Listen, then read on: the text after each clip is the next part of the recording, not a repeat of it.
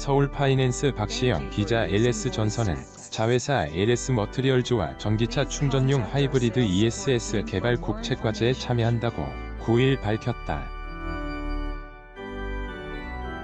HESS는 기존 ESS의 리튬이온 배터리에 리튬이온 커패시터를 결합해 전력 공급의 안정성을 높이고 화재 위험성은 낮춘 제품이다.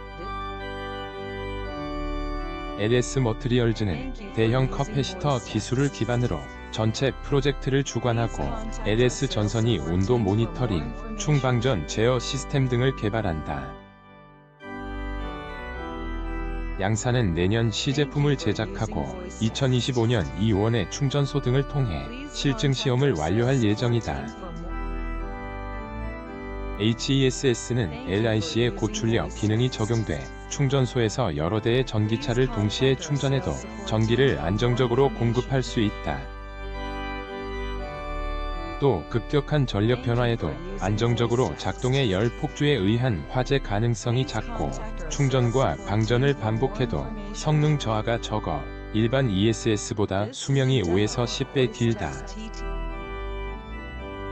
홍영호 LS 머트리얼즈 대표는 전기차 충전 인프라에 ESS를 적용하는 연구가 국내외에서 활발하게 진행되고 있지만 아직 상용화한 곳은 없다며 HESS를 선제 개발해 시장을 선점하겠다고 말했다.